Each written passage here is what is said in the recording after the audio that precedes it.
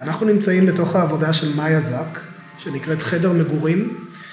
מאיה זק, אומנית ישראלית צעירה, עקבה אחרי זיכרונות של אדם שעזב את ברלין ב-1938 כשהוא היה נער, הגיע לארץ, ובשנים האחרונות כתב את זיכרונותיו על הבית שבו הוא גר בילדותו.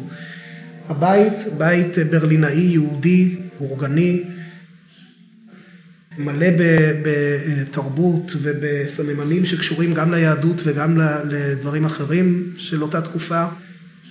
שוחזר על ידי אמצעים דיגיטליים, על ידי תוכנת מחשב, אבל יש בו גם את האלמנט של החירות של האומנית, להוסיף כאן מהדמיון שלה ומהחופש היצירתי שלה, סימבוליקה, דברים סוריאליסטיים שקורים כאן, כמו למשל סוס שרץ פתאום באמצע החדר ששייך לעולם של דמיון, אנחנו רואים סצנות כמו חתיכות נייר שעליהם עומד pipe שעף באוויר, שולחן שנראה כאילו שהוא ננטש ויושביו היו, נאלצו לעזוב בפתאומיות.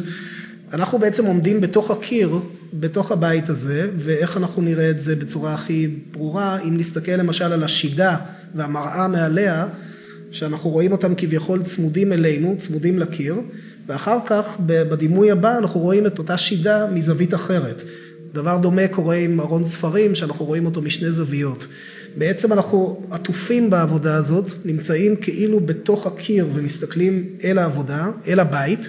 הבית עצמו טבול בלבן, הוא אפוף בתחושה של זמן שקפא, זיכרון שקפא, רגע מסוים שהאומנית הקפיאה, ועל ידי דמיון ועל ידי הניסיון הכמעט ריאליסטי הזה לגמרי, יצרה את הקפסולת זמן הזאת. עוד דבר מעניין שאפשר לשים לב אליו בעבודה, הוא החורים האלה בקיר, שחושפים את הפנים של הבית, את הצנרת. אפשר לדבר כאן על יחסים בין מודע ללא מודע, בין מה שנמצא מאחורי הקלעים למה שנמצא בחזית, ועל חורבן.